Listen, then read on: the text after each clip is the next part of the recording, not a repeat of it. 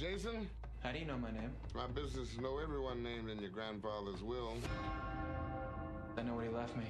Nothing. Walk away, and you'll never know, will you? Jason Stevens lives a life of wealth, And how much is that? I want to tour that property as soon as possible. a life of privilege, Money has always been available to you like the air you breathe. a life that's about to take So what's in the box? a turn. Your inheritance.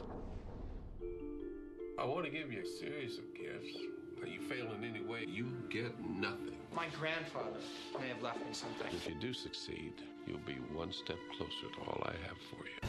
It's only fair that I know the amount of money that we're dealing with here. I violate their instructions. I am out. I'm your son, Mom. Do manual labor for a month?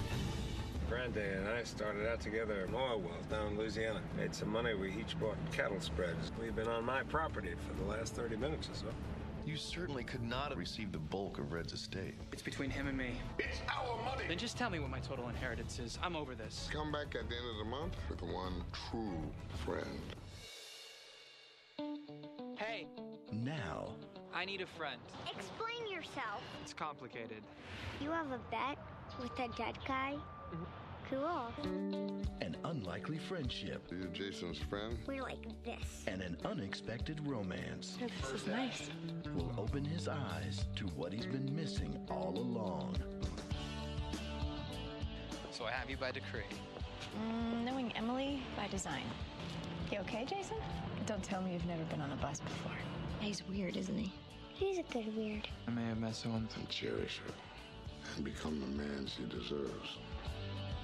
Your worries, or, or whatever you want to call them, not life or death, Jason. Two completely opposite people who wouldn't have had a chance without me. What's your dream? My dream was a perfect day. And I'm just finishing it. The ultimate gift.